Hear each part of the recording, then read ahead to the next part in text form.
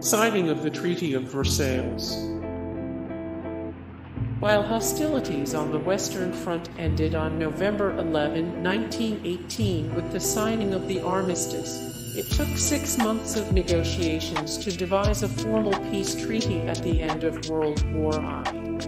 The Treaty of Versailles was the result of the half-year-long Paris Peace Conference, and it was signed in a formal ceremony on June 28, 1919 in front of thousands of spectators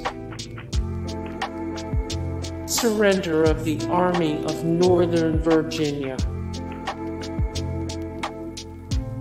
Battle of Waterloo surrender.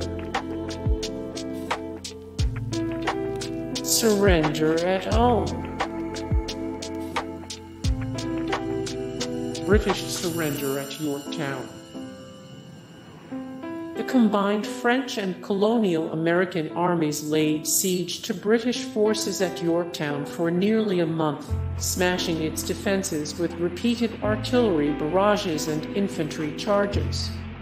British commander Lord Cornwallis agreed to surrender on October 17, 1781, and a formal ceremony was held two days later. Surrender of Jerusalem, 1187. Surrender of Granada. Egyptian Hittite Peace Treaty.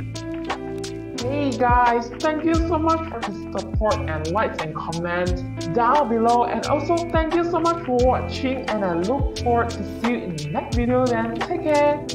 Bye.